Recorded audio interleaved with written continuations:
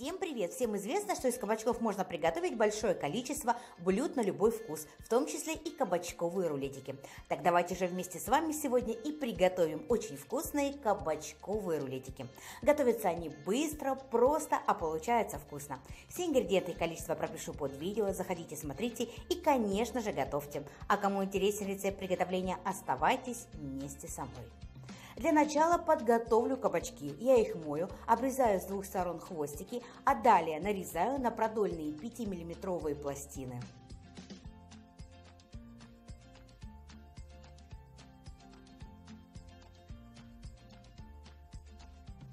Кабачки отправляю на тарелку.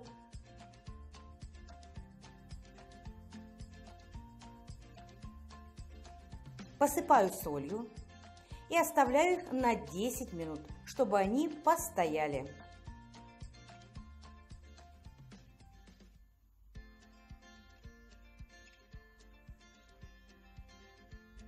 При приготовлении рулетиков кожу с кабачков я не счищаю. Итак, готовим начинку. В начинку я буду добавлять два вида сыра.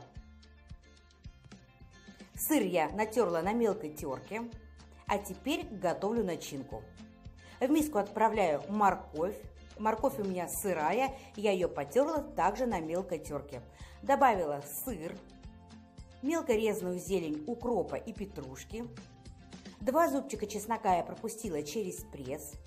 И все заправляю майонезом. Если вы не любите майонез, добавляйте сметану. Все хорошо перемешиваю. При желании сюда можно добавить и немного черного молотого перца. Соль я сюда не добавляю, так как в начинке много сыра. Начинка готова. Беру два яйца, добавляю немного соли и хорошо перемешиваю яйца при помощи вилки. На предварительно разогретую сковородку наливаю растительное масло, кабачок отправляю в яичную смесь, и выкладываю кабачки на сковородку. Обжаривать кабачки я буду с двух сторон до золотистой корочки.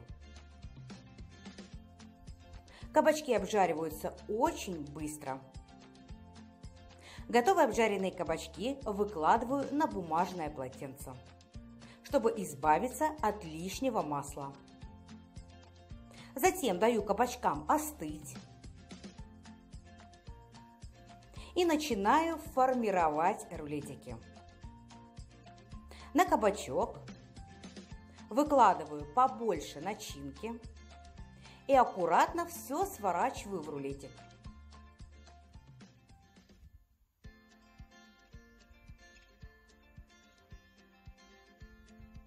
Такие рулетики можно приготовить и подать даже на праздничный стол. Ведь они очень вкусные и готовятся легко. Итак, рулетики я подготовила, а теперь сверху я их посыпаю обжаренным кунжутом и подаю к столу. И если вам понравился рецепт приготовления, ставьте лайки, подписывайтесь на канал, не забывайте нажимать на колокольчик, чтобы не пропустить новое интересное видео.